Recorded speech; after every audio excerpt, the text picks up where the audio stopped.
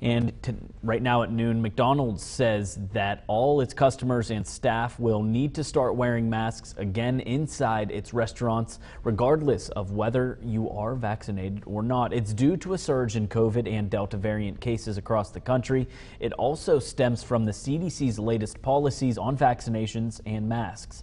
McDonald's also says masks were always mandatory for staff and customers who were not vaccinated.